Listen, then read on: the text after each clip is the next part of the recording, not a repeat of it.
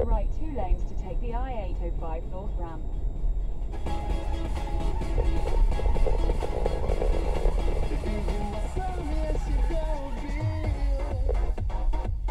400 meters, merge onto I-805 North.